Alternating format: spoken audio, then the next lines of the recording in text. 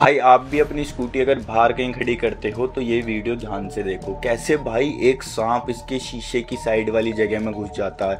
और तुम सोचो, अगर इसे चलाते में ब्रेक मारता और एकदम से सांप डस लेता तो इसकी तो ज़िंदगी में ब्रेक लग जाते। और ये देखो भाई, वो तो टाइम पे भाई बंदा समझदार था तो तुम लोग भी भाई इधर उधर थोड़ा ध्यान रख के दिया करो। देख रहे हो, इतना बड़ा सांप।